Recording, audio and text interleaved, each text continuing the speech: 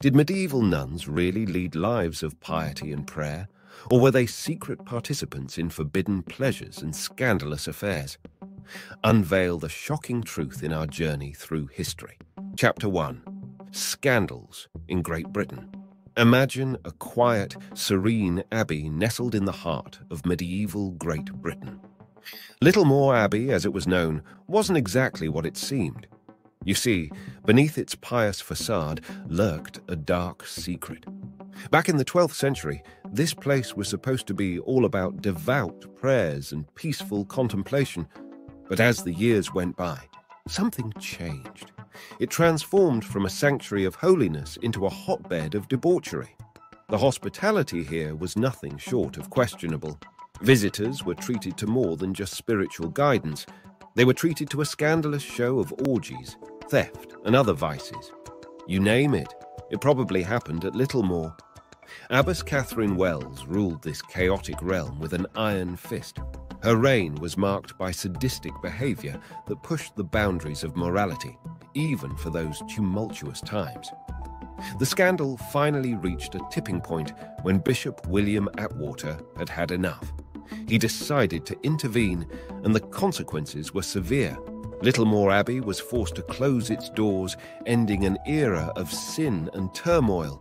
This is just the beginning of our journey into the forbidden pleasures of medieval nuns. Chapter 2 Honourable Nuns of Italy. Explore the lives of nuns in Italy during medieval times, and trust me, it's nothing like what you'd expect. You see, when we think of nuns, we often picture them in their modest habits, dedicated to prayer and serving the church. Well, think again. Italian nunneries had a reputation that was quite different from their counterparts in Great Britain. They were known as clandestine brothels. Yes, you read that right, brothels. So, what was going on behind those convent walls? It turns out that Italian nuns were a bit of a mystery. They wore distinctive attire that set them apart from other nuns, and this attire seemed to attract a lot of attention. You can imagine how this might blur the lines between religious devotion and, well, more worldly desires. Venice, in particular, was famous for its alluring nuns. They were like a magnet for curious onlookers. People couldn't help but be drawn to these nuns and their intriguing way of life. It's like they had a secret that everyone wanted to uncover. Now, let's be clear not all Italian nuns were engaged in scandalous activities.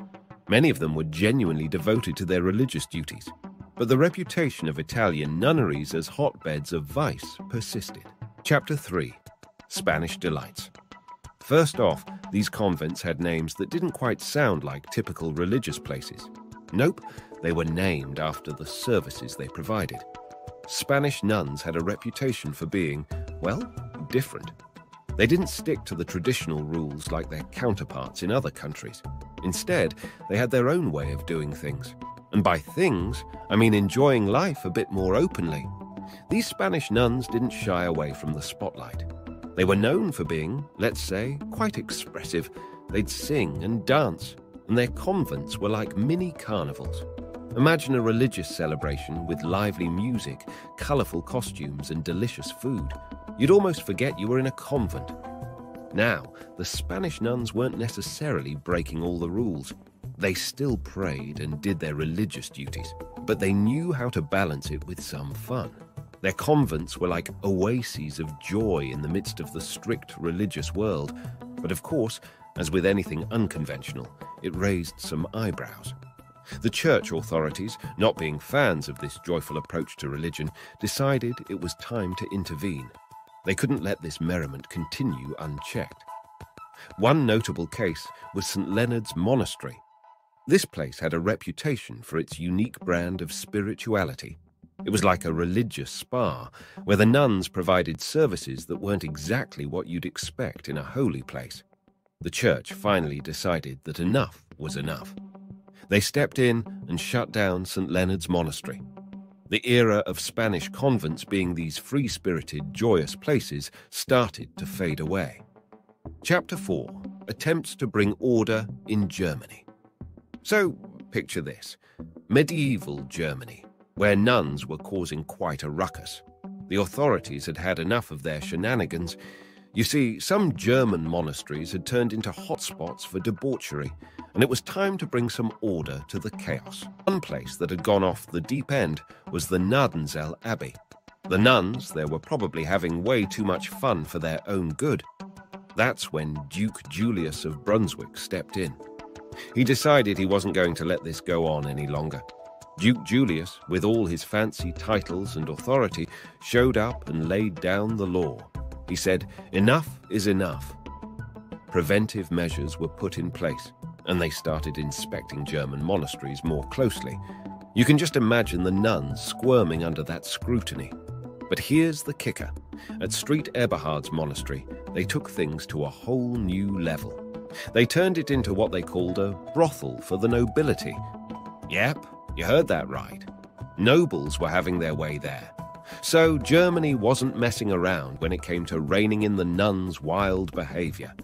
They went from party central to a strict inspection zone real quick. Chapter 5 French Traditions now, let's talk about the French nuns, known for their rather light-hearted nature. You might think that nuns are all about prayer and devotion, but in France, things took a slightly different turn. Imagine this. French nunneries, where you'd expect solemnity, were often filled with laughter and merriment. The French church tried hard to put a lid on the promiscuous celebrations, but it was like trying to tame a wild party animal. One particularly eyebrow-raising group of nuns was known as the Gnomes. These ladies didn't hold back during festivities. It's almost as if they had a secret code, thou shalt party hearty. The church's attempts to keep things in check were about as effective as a sieve trying to hold water. Now, you might wonder, what exactly were they getting up to? Well, that's where the juicy details come in. The gnomes, along with other nuns, engaged in all sorts of activities that would make your grandmother blush. It was like a never-ending carnival of revelry behind those convent walls. Chapter 6 Nuns and Brothels So what does Queen Joan do? She decides to put all the horrors and promiscuous maidens in a special place, a designated monastery. But here's the twist. This monastery wasn't quite what you'd expect. Instead of being a place of prayers and quiet contemplation, this monastery served as a sanctioned brothel. Yep, you heard that right, a brothel. It was like a medieval red light district, but with nuns running the show. Now you might be wondering, how did they manage this? Well, it turns out the monastery had a boss of its own, known as the Abbess. Imagine someone keeping an eye on all the shenanigans to make sure things didn't get too out of hand. They even had regular checkups to ensure everything was running smoothly. But as we know, history has its ups and downs, and in this case, it was an epidemic that brought an end to the debauchery. It's incredible how these nuns went from holy devotion to running a medieval brothel, and it's a story you won't want to miss. Chapter 7 Like and subscribe to our Antiquio, and that's a wrap. If you enjoyed this video, then you're going to love this one. Click the video on the screen right now and take a look. And as always, thanks for watching.